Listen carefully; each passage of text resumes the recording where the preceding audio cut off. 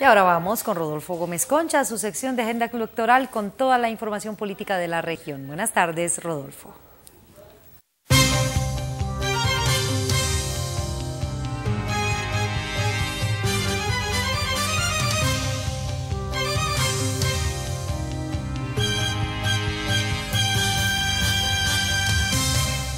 Buenas tardes, bienvenidos a nuestra agenda electoral de 90 minutos. Toda la información política de cara a las elecciones del próximo 30 de octubre. Y comenzamos.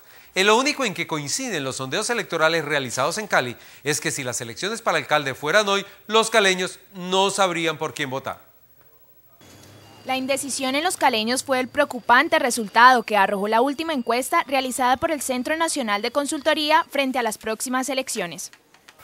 Hay una un abanico muy amplio de candidatos, son 12 candidatos que tendrán que repartirse esa cantidad de votos.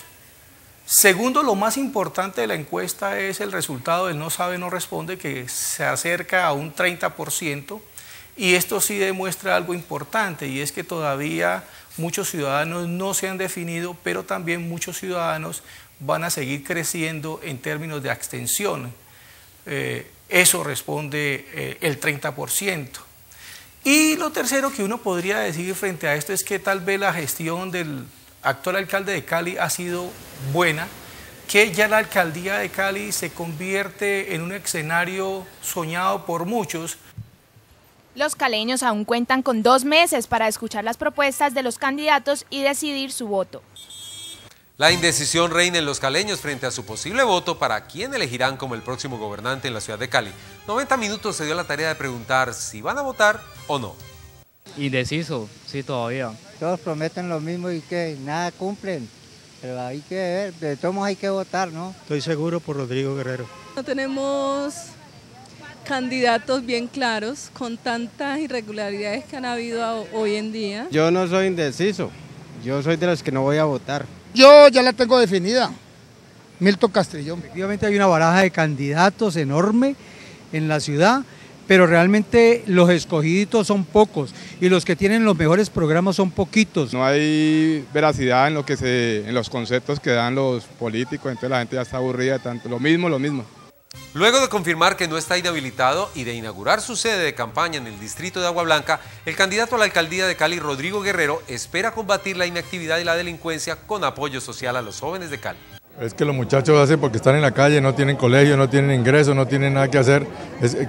primero que estén en el, colegio o en la escuela. Segundo, que si están por fuera por alguna razón que ya no pueden volver, que tengan oportunidades de ingreso y que tengan actividades lúdicas, deportivas, de tal manera que calmen esa extraordinaria energía típica de la juventud. La aspirante a la alcaldía, Susana Correa, propone acabar con los inconvenientes generados por la construcción de las megaobras y sus pagos. Y hemos puesto a consideración cuatro puntos fundamentales para que la gente de verdad se le alivie un poquito el bolsillo con estos pagos. El primero es, megaobra que no se haya empezado no se cobra hasta que se inicie la obra. Hemos dicho amnistía de los intereses de mora a la gente que nos, o al contribuyente que realmente no puede cancelar este interés de mora. Vamos a alargar el plazo y a disminuir la, la cuantía de, la, de la megacuota. ¿Por qué? Porque simplemente es extender un poquito la financiación de las megaobras. Tenemos que hacer una interventoría muy, muy estricta de las, de las megaobras precisamente para que no puedan, para que estas, en primer lugar, no se extiendan en el plazo y en segundo lugar no cuesten muchísimo más. Jorge Homero Giraldo, aspirante a la gobernación del Valle, se compromete con los vallecaucanos a mejorar los problemas de los recursos para la salud que tiene el departamento. Nosotros necesitamos recuperar la salud para el Valle del Cauca.